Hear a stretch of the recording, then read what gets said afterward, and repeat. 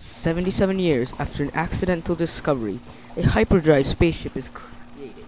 And now you can vacation on dwarf planet Pluto. If you wanted to get as isolated from planet Earth as possible, Pluto would be the dwarf planet for you. 39 AUs away, the temperature drops down to 400 degrees Fahrenheit, where you can cool down.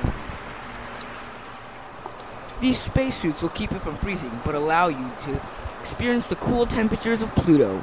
Even better, Pluto's gravitational pull is 5% of Earth's, so you can nearly live out your dream of flying.